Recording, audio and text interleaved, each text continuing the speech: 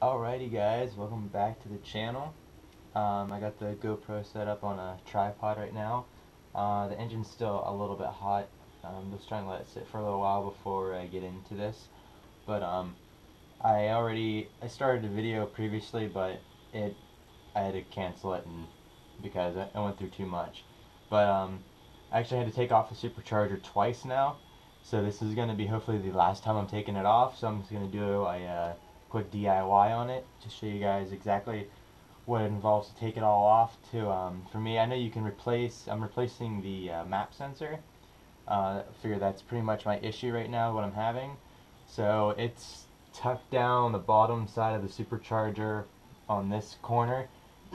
I've heard people you can get it um, with it still on but it takes a very long time and a lot a lot of patience. And it's really there's like no room in there so I don't even know how people even get that thing out. But we're taking it off. Um, actually, you don't have to take it off the whole way, the supercharger. Uh, I'm going to show you. but you do have to unhook pretty much everything. And um, you have to lift the back side of it up a little bit without taking it so you don't have to um, take off the uh, water uh, coolant lines for it, which are a real big pain in the butt. So, yeah. So you can leave these all connected. The only thing I can say is to unhook the uh, the magnetic uh, on the supercharger pulley. There's a, a little uh, connector on it. Pop that off so it kind of is out of the way.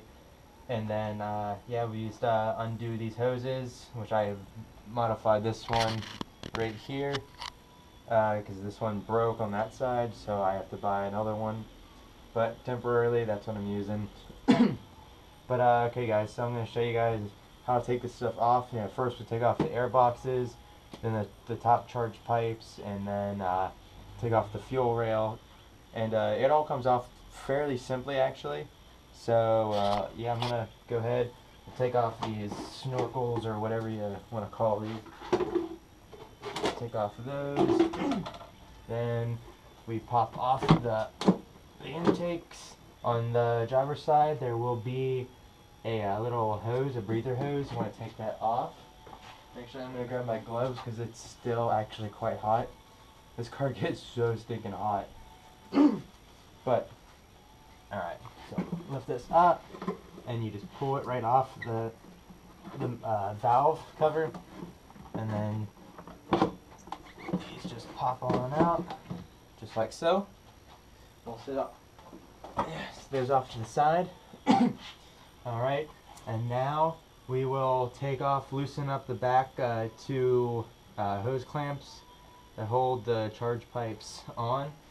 Uh, just been using, I think it's a 7 millimeter that I used, but this one actually, the passenger side one stripped on me, so I have to get another one too. But we're going to just loosen these up real quick. Absolutely horrible to have to keep redoing that. Yeah, the gaskets are actually they're actually really cheap online. Um, actually, I got because you have to actually get uh, there are two different um, gaskets for each each charge pipe. So I bought two of them, and they were actually the same size as just for I believe it was this. I think it was yeah, it was the driver's side. So make sure you get both because they're different. You have to get two different part numbers for them. I got those, but thank goodness they are actually still good and they were the originals so they can you can reuse them pretty much which I did. I'm having no problems with them so far. Uh, so yeah and then we're gonna take out these bolts for here. I'm just gonna crack them loose and use my impact to get the rest of them out. It is a T a T30 Torx bit. So I'm just gonna go ahead and crack these loose. And these aren't on super tight. Yeah so I wouldn't put put them back on and just get them good and snug. Especially if you have a new gasket on it. You're going to probably have to come back and re-torque them again just to make sure they're good and snug. These top ones were 750 a piece. They're actually very cheap.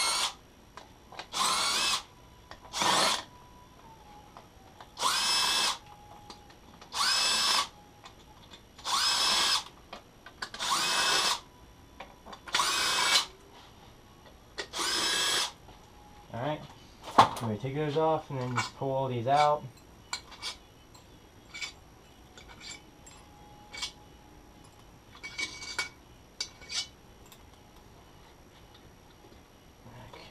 So I can get this one out now. Down, and now these just pop on right out, just like so. My gasket's on there. Pretty simple, just on and off the driver. Now we're pretty much halfway there. And then you just take these two bolts, they are going to be uh, an 8 millimeter. Alright, so it's a um, it's a star bolt for the fuel rails. I'm using a uh, 8 millimeter socket, but that's what I, am using right now. Um, and also, uh, block these off, the intake ones, if you have a paper or towels or anything, which I have some here. Because uh, when I first did it, there was a lot of uh, junk and garbage underneath the back sides of these when I first put them in, or when I first took them off, and uh, some of the debris fell down into the cylinder. But uh, thank goodness I uh, found it and had to makeshift the thing on the vacuum cleaner to get it off. Alright, so when you take these, unhook them all, this one just pops right on off and you can just lay it off to the side. This other one kind of just lays down in there a little bit. So yeah, lift it up, lift up a little bit and then push back on it. And you can lift it around because this little, I don't know what that is, like a regulator or something on there. Gets in the way, the throttle body. Just lift it up and just lay it down right off the side just like so. Pretty simple. And we're right about the home stretch now. To do that, uh, you have this other harness you can wiggle through if you want to. I, I like to get it out, and that way it's out of the way from the supercharger when you put it back in. And you can wiggle these wires back through, and you can get these out of the way. Because when you take a supercharger out, you don't want nothing in your way at all. So, I'm going to take off those, and also these front uh, tubes, you got to take these off as well. Um, yeah, just be careful not to split them open, which actually looks like this one is now. So yeah, just be careful. Especially you're probably going to have to get new ones of these if you haven't replaced them already, if they're old. Because these things just don't, they dry rot so quickly. So I'm just going to loosen this one up. And then just get that out of the way. You're going to have to undo them as well on these bolts. I'll bring a closer look here for you guys. So yeah, all your vacuum lines and stuff go under, underneath the supercharger too. There's only one for it. so and now we're going to break these loose. Oh, and in the front there's another uh, breather hose to it. Just unattach it and pop it off. Just like that. Just kind of leave it hang off to the side then, or wherever you want to put it so it's out of the way. Got those off. And uh, the back side here, there's uh, two of your uh, breather hoses that attach. So, back around here. So there's one here and one on this side. Just pop them both off and you can uh, wrap it up and around and kind of just tuck it in so they're not in the way. But um, also, there's one more, the EVAP thing it was, it runs along the outside here. It's a rubber line, and there's the uh, there's like a little bracket that's bolted to the valve body. So you want to undo that. That's again a uh, an eight millimeter. So you're gonna want to get the eight millimeter and uh, take that off real quick. And also be careful when you do. I mean, you can put it back in, but I had an issue when I did mine when I took it off that it just pops right out on the bottom side of the supercharger. And when you do that, you'll get a code like a P5 something for a high idle, and your car will idle up at a, like a thousand, 1,000 RPM. And it'll say for uh, like your uh, idle control valve or something is going wrong. But and you hear it, it's a loud hissing noise. But yeah, this actually you have to push it back into it, and that was my issue. So you're gonna do that, and also there's a a rubber hose on it, so just unloosen it.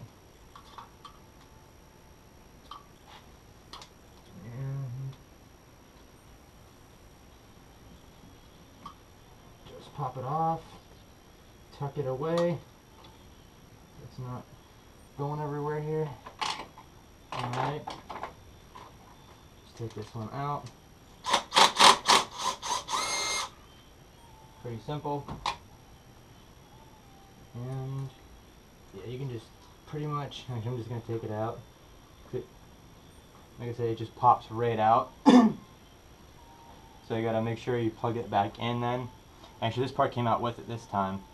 So yeah, it actually just plugs right into it, just like that. And that side goes into the supercharger and then bolts down to your valve body. It's pretty simple. Just make sure you put that back in the right way. So we're going to set that off to the side too. and you got two uh, connectors, uh, well actually more than that, two, there's four connectors, my bad. You got two that are bunched up in the back, they have like this protective thing on them. So you want to use, take them off, and uh, be careful because there is only one way to put these on. They're both the same exact connector, too. So I would mark them, mark them down uh, to make sure they're the correct ones. Um, but yeah, just unhook those. They actually don't, if you're taking it off, um, um, unhook them, and you unhook your uh, intake uh, temperature sensor. So you're going to unhook that one as well. Even just to do this, just unplug it. It's pretty simple. It's actually right back in here. It's straight between the, I guess the boots or the intake part of it. You want to just take those off. And then after that, we're pretty much ready. And then you can uh, take off the uh, uh, map sensor wire, the plug on top of it. Um, and also I take off the dipstick, I just throw it up here. And on the back side of it, on the passenger side, you'll see a, um, a little bracket that holds it still. Take that off. It's a, um, an 8 millimeter as well, but like the reverse Torx bit. But I've just been using this. It's all I can find, and it works. And uh, let me get my thing. Oh, well, there it is. So you're gonna have to go around to the corner of it and get it off like that, pretty much down the corner. So I just take that off, and um, I'm gonna do that quick, and uh, show you guys the rest. Alrighty, guys. So I took that off, the little thing, and now you can move this around a little bit freely, so you can get when you lift it up, you can wiggle it out of the way, so can, it's not in the way. But yeah, just took everything back, try to keep it organized, make everything easy as possible to get out. Then you're gonna need a Torx bit. This is a T40. So I'm gonna use a T40 with a long extension to break these loose. And there's gonna be this one that holds these two uh, recirculation valves or something. So uh, there's gonna be one, one there, and then there's gonna be one between every one of these. So, and then one in the back here. So you're going to break these loose. And the same thing on the other side. And there's going to be one on the way back that holds this uh, uh, engine mount off. So you're going to want to break that one loose and take it out as well. And then you'll move these out. So we're going to start in the front here. I'm going to show you guys. So Torx bit in. Just break them loose. Loose. Go through them. Break them. They don't. They're on there a good, good torque setting on them. So don't uh, don't over torque them when you put them back on, but just kind of get them really good and snug. And then that that's pretty much it. And then take off the uh, well. First thing I probably should have done was uh, take off the supercharger belt. So you want to take that off. Pretty easy to take off. Just lift it up, take it off. It's that quick to take off the supercharger belt on this car. Just leave that to the side, and now you're pretty much ready to go. Take those bolts out, and uh, I'm to be back and show you the rest. Alrighty, you guys, I got them off. Uh, yes, take them all loose. You don't have to take them out whole way. I just unscrew them enough till they're out and they stay in there still in the slots. So when you put it back on, you don't have to drop bolts down through there. They stay in perfectly fine. Just unhook your, uh, you don't have to, but I unhook them anyway. the vacuum uh, lines on each end of these. Just tuck them off to the side and then you can just pop them on off. This one has a gasket on the end. They both do, so you want to keep them. Make sure you don't lose lose these little gaskets. So keep these together and just set them off to the side or wherever you want to put them. So it's easier just to take these off and get them out of the way. It gives you more room to work so you're not fiddling around with unnecessary things. And then under here is your, uh, I don't know if you can see that or not. So right, oh. so right here is the plug for your uh, magnetic thing. So you're going to take these off. It's on like a little bracket, but mine broke. So just kind of hold it down and pop it off just like such. Tuck it back down in, keep it away where you're going. And then yeah, keep all your vacuum lines fairly clear so you don't damage anything. Last thing you want to do is more vacuum lines going bad and whatnot. So yeah, just get, tuck them out of the way as best as you can. Just get them out of the way. And then you are pretty much, at this point, ready to pull the supercharger off. So we're going to go ahead and I'm going to show you, well, a little bit of it. I'm going to get my uh, uh, adapter and stuff to take off my my other uh, with a map sensor. So I want to have all this stuff ready to go. Leave those up here. I got my new uh, new sensor here. This was from the dealer, by the way. Yeah, so here it is. It's a FAE 15074. I don't know if you guys can see that or not. It's the same as the original. And this one should work. so we're going to keep that here. And sit that up there because I'm gonna that's what I've been having to do. So just crawl on up. I try to keep these wires clear right here and then you can kind of just stand on it a little bit so you can lift the back of this thing up. And it's a weird position but uh, you gotta do what you gotta do to get this thing out of here it's not the lightest uh, supercharger on the market so be prepared because it does have some uh, it does have some weight to it. So I'm gonna put the camera here. Hopefully you guys can see this. I usually grab either right under the uh, throttle body or if you can get your hand far enough to get underneath the back of this horn thing and then just lift it up. At the same time you have to move this out of the way a little bit. So like I said, you gotta wiggle things around a little bit and then pull it up just enough, like right there. And you can see it. Right here's the map sensor. Just pop off the plug. Let's see if I can get this camera a little bit closer. Alrighty guys, uh, I had to charge the GoPro quick, but alright we're back. I'm going to lift this thing back up here, and I believe I had the right size on there, but we're going to check again here. So just lift this up, out of the way, and to wiggle it around a little bit. There we go. And once you get it up, out of the way here, I kind of just wedge my foot on the other side here. Keep this GoPro straight as I can. It's not wanting to, but alrighty. Hold it up. And then there's the sensor. Hopefully you guys can see this.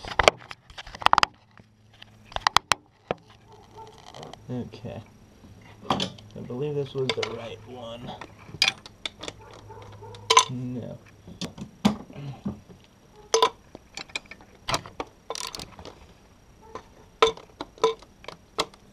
Break these loose. Just like that this thing is really heavy. Trying to get the best lighting as I can. But my hand's going to be in the way right now. Because it is a tight little area to get anything in. So, okay, I'm going to readjust again. Gee. The motor is really hot still. Okay, here we go.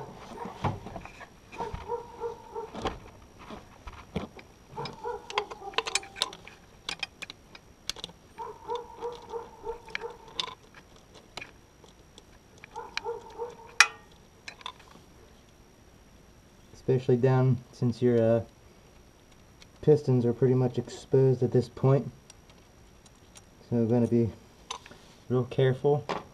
Hang on to those things. And then these just spin it around and pop it on out like that. We'll get our new one. And then same way, just stick it on in there like this. Just like so. And put your bolts back in. You have all this work just for this. It is a terrible location for this. Little socket in there. Tighten it down. Just snug them. And I dropped it. I dropped it. No. I think I saved it. Hold on. Okay, there we go.